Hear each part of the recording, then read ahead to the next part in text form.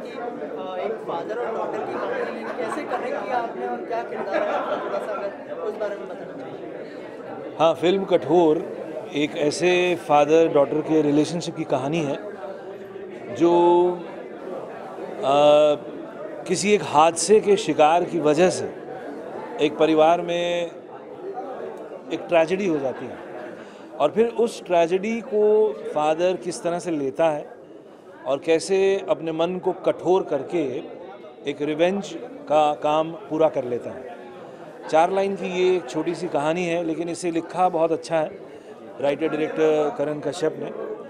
और सबसे बड़ी बात इसमें जो किरदार मैंने प्ले किया है फादर का, उसमें सबसे बड़ी बात यह है कि ये एक ईमानदारी से जेल कर्मी है। एक कांस्टेबल की नौकरी कर रहा है। और उसे अपनी ड्यूटी निभाते हुए एक अच्छा जीवन जी रहा है एक अच्छा पारिवारिक जीवन जी रहा है। बच्चे पाल रहा है घर चला रहा है बेटी की शादी करने जा रहा है। कहानी की शुरुआत में ही हम देखते हैं कि फादर अपने बेटी की शादी की तैयारी में बहुत कुछ कर रहा है और परिवार में खुशियाँ हैं लेकिन एक हादसा होता है जिसमें मेले में आ, क्या कहें नक्सली अटैक होता है और बच्ची उसमें मारी जाती है। बच्ची को किसी कारणवश गोली लगती है और वो मर जाती है। अब घर में मातम छा गया, घर में हादसा हो गया और जहाँ खुशियाँ मनाई जा रही थी, वहाँ पे अब आँसू निकल रहे हैं। पिता भी बेमन से ज़िंदगी जी रहा है। कहानी आगे बढ़ती है और ये जो जेल का, अर्दल जेल का कांस्टेबल है, इसे उसी किलर को खाना खिलाना पड़ता है।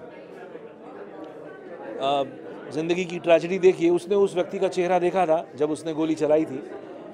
अब उस, उसको अपनी ड्यूटी निभाते हुए उसी किलर को उस जेल में जो एडमिट हुआ है, उसे अपने हाथों से भोजन देना पड़ता है। ये बर्दाश्त बाहर की चीज़ हो जाती है और यहाँ से वो व्यक्ति, वो जेल का कांस्टेबल अब इस मंथन से गुजरता है कि उसे क्या करना चाहिए, क्या नहीं करना चाहिए। कानून उसकी मदद नहीं कर सकता और वो अपनी मदद खुद करता है, अपने आप को कठोर बनाता है।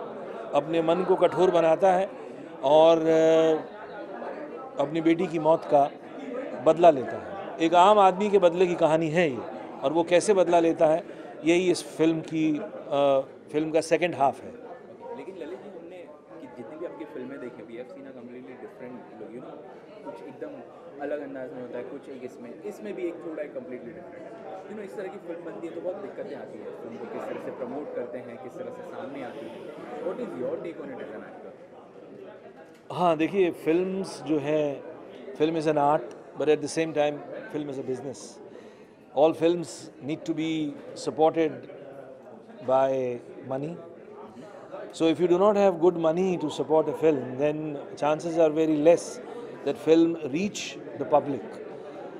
Yes, it is a very small budget movie, but because it is an honest film, it's written honestly, it has been performed honestly, all artists have done their work very sincerely, and what we need is support of uh, the public relation department and uh, the distributors that they take this film on its merit and create an opportunity that the whole nation sees it.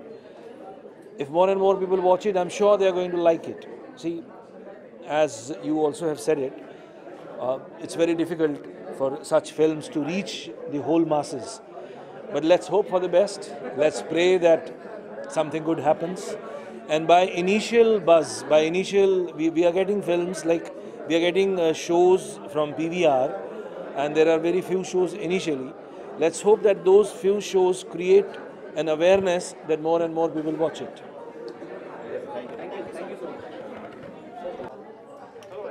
अलग उस तरह का part अदा किया जी जी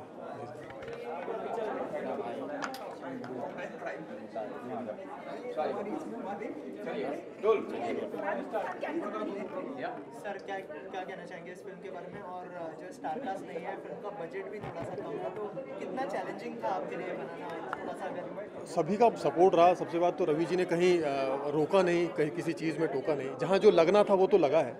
film में कहीं resources की ऐसी कमी नहीं है। हाँ थोड़ा बहुत ज़रूर कठिनाइयाँ हुई हैं चीज़ों को लेकर शेड्यूल वर्किंग आवर्स बाकी टीम बहुत अच्छी थी, सारे एक्टर्स बहुत अच्छे थे, सभी ने सपोर्ट किया और एक अच्छा कंटेंट एक अच्छी कहानी लेकर हम आ रहे हैं। तो डेफिनेटली लोगों को पसंद आएगी और इस तरह की फ़िल्म सर, इस टॉपिक के ऊपर पहले श्रीदेवी की फ़िल्म आई थी मॉम और संजय दत्त की फ़िल्म आई थी भूमि। जी। उस इस टॉपिक पे बन चुकी है। तो अ, क्या कहना चाहेंगे? कंपैरिजन के लिए कितने रेडी है बहुत बहुत अलग फ़िल्म है ये। कहीं थोड़ा बहुत कुछ कह सकते हैं कि मिलता है लेकिन ये एक्चुअली बाप बेटी का रिलेशन तो है। लेकिन ये कहानी है वो उस बंदे की जिसको अपने ही बेटी के जो कातिल है उसको खाना खिलाना है डेली खाना खिलाना है। इस, इस बहुत मुश्किल है किसी के लिए अपने बेटी के कातिल को खिलाना।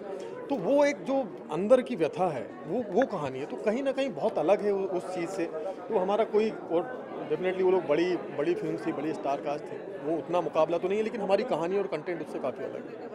सर आप क्या कहना चाहेंगे नहीं ऐसी कोई चैलेंजिंग वाली बात नहीं थी। क्योंकि मैं भी मीडिया से ही जुड़ा हूँ आज इस तरफ़ हूँ। बाकी समय मैं उसी तरफ़ रहता हूँ। तो जैसा आपने बोला कि संजय दत्त की भूमि और वो तो इस फ़िल्म की जो थीम है, वो उससे काफ़ी अलग हटके है। क्योंकि एक, इस फ़िल्म का जो सबसे अच्छा जो थीम है कि एक, बच्ची की हत्या जो है नक्सलियों के द्वारा की जाती है। बाद में जब नक्सली पकड़ा जाता है और उसे जेल भेजा जाता है तो उस नक्सली को रखने की, खाने की, पीने की, उसकी सारी जवाबदारी उसी जेल के प्रहरी को दी जाती है, जिसकी बेटी को उसकी वो हत्या किया रहता है। तो ये कस्म कस्म है और अंत में फ़िल्म का लास्ट सीन जो है, अंत में इसी कस्म कस्म रहता है कि भाई अगर कानून पे जाएँगे, केस चलेगा तो इसको पनिश नहीं कर पाएँगे तो अंत में वो वो एक डिसीज़न लेता है, अंत में उसको वो मार देता है। तो फ़िल्म अच्छी है कॉन्सेप्ट अच्छा है और ऐसा मानना है कि लोगों को और आम लोगों को पसंद आएगी।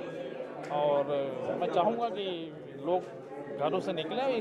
काफ़ी दिनों बाद एक ऐसी फ़िल्म आ रही है जिसकी एक कहानी है, जो पूरी की पूरी एक बेस पे आधारित है। तो लोग घरों से आएँ, निकले, देखें और लेकिन आपको लगता है कि कोई अगर बड़ा बेस होता तो फ़िल्म को फ़ायदा होता बिज़नेस की अगर हम नहीं, देखिए, अभी पिछले कुछ दिनों से बहुत सारी फ़िल्में ऐसी आई, जैसे फुकरे हुआ। अच्छा बहुत सारी फ़िल्में बन रही है, कॉमेडी फ़िल्में बन रही हैं, जिसमें कोई फेस नहीं है, लेकिन फिर भी वो फ़िल्में चल रही हैं। तो कोई अच्छी फ़िल्म के लिए फ़िल्म बहुत बढ़िया चले उसके लिए कोई फेस की ज़रूरत नहीं। यदि आप काम अच्छा कर रहे हैं, फ़िल्म अच्छी आपकी है, स्टोरी अच्छी है तो दर्शक वर्ग है, एक बार घर से निकल के देखेगा ज़रूर। पांडे जी इस फ़िल्म का नाम कठोर रखा गया तो कहाँ से ख्याल है इस फ़िल्म का नाम कठोर ही रखना चाहिए? कठोर एक बहुत दर्द वाला शब्द है। कहाँ से ख्याल आया? कठोर। कठोर जो शब्द आया है एक बहुत सॉफ्ट हार्टेड आदमी अपनी ग्लानीवश और जो सिचुएशंस रहती हैं उसके हिसाब से जब वो चेंज होता है अपने अंदर तो बहुत ज़्यादा कठोरता लाता है अपने अंदर वो बहुत ही सॉफ्ट हार्टेड आदमी रहता है।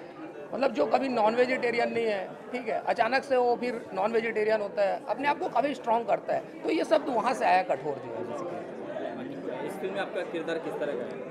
अब आप फ़िल्म देखिएगा तो पता चलेगा काफ़ी इंटरेस्टिंग किरदार है और ललित जी के सपोर्टिंग में सारा रोल है उसको आप देखेंगे तो समझ में आएगा कैसा है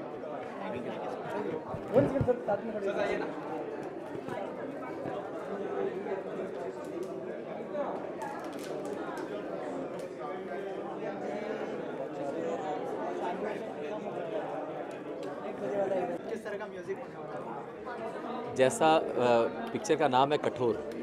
लेकिन म्यूज़िक जो है म्यूज़िक पोर्शन उतने ही एकदम हार्ट टचिंग है जिसमें कि मैंने एक लोरी गाई है जो आई थिंक सबको पसंद आएगा। और प्रम, प्रमोद जिसने गाया सुना आँगन वो प्रमोद ने गाया। मतलब म्यूज़िक इज़ मतलब हार्ट टचिंग और वेरी सॉफ्ट और बहुत मीनिंगफुल म्यूज़िक और विष्णु जी आगे आपको बताएँगे विष्णु जी म्यूज़िक डायरेक्टर हैं। तो इन्होंने बहुत अच्छा मेहनत किया और चार गाने हैं टोटल इस फ़िल्म के अंदर। एक गाना मनोज भाई ने गाया जो अभी उन्होंने बताया लोरी बाप बेटी के रिलेशन पर है। और एक गाना मेरे प्रमोद भाई ने गाया है इनका पहला गाना है।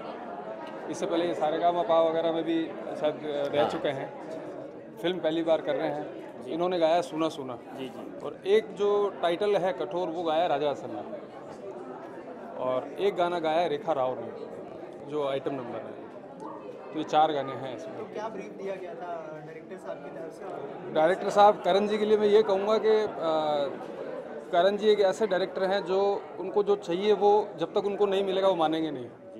और वो वही हुआ उनको जो चाहिए था जैसी सिचुएशन उन्होंने बताई थी बाप बेटी के ऊपर। वो गाना सुन के मनोज भाई ने भी यही बोला था कि यार मेरे को लग रहा है स्क्रिप्ट ऐसी होगी। तो इसने गाया तो इसने भी सुन के ये बोला कि स्क्रिप्ट ऐसी होगी। मतलब स्क्रिप्ट से बिल्कुल चिपके हुए हैं गाने जो स्क्रिप्ट की रिक्वायरमेंट है उसके हिसाब से। गाने की? दो लाइन गाने की। एक एक लाइन गाने गा दो। हम्म, सूना सूना घर का आँगन सूना मन का कोना स्याह रात के सन्नाटे में चुप के चुप के रोना चुप के चुप के रोना। संगीत की कोई भी लैंग्वेज नहीं होती कोई बातचीत नहीं होती है बस आ, संगीत कैसा भी हो एक फीलिंग्स होती है एहसास होता है और सब एहसास कर सकते हैं और बहुत अच्छा आ, काम किया है विष्णु भैया ने और मैंने अच्छा गाने की कोशिश की है बाकी सब आप सबके ऊपर है। Thank you so much thank you thank you